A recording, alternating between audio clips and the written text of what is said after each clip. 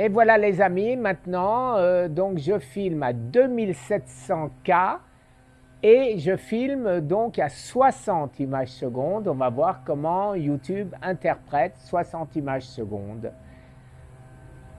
Voilà, euh, donc bon, on verra si on voit une différence de qualité entre toutes ces différentes euh, manières de filmer. Alors, stop recording. Stop recording.